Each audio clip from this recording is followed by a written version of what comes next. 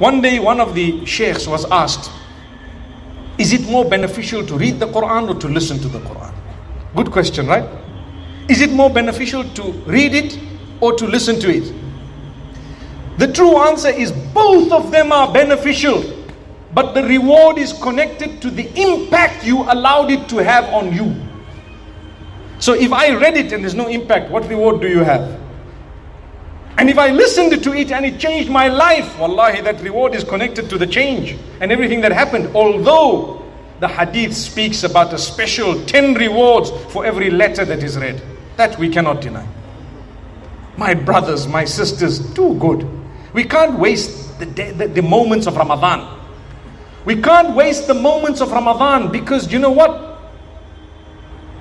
For some of us, this is the last Ramadan.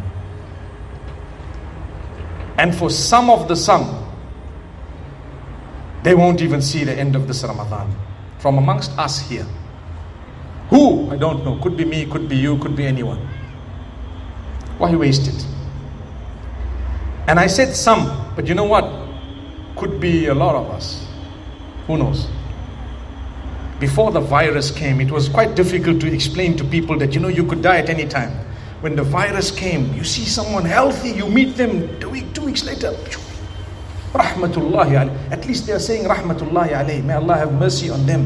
It could be me, it could be you, it could be anyone. That day, I don't want to regret having wasted Ramadan, whether it's on movies or whatever else it might be.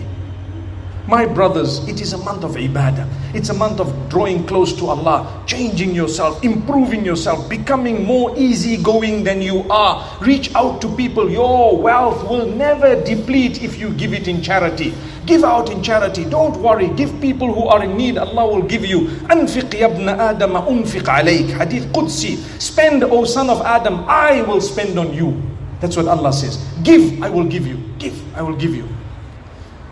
That too, we're taught a balance. I mean, don't just go home and take your whole bank account and say, give it, Allah will give us.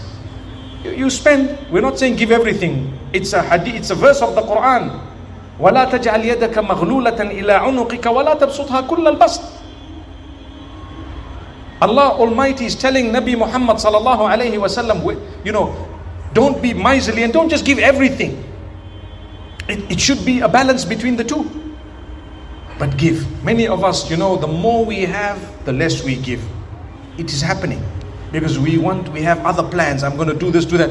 You don't know before all of those plans, Allah has a plan to take you back to Him. Can happen, right? May Allah grant us happiness, goodness, ease. May Allah help us to accept His decree.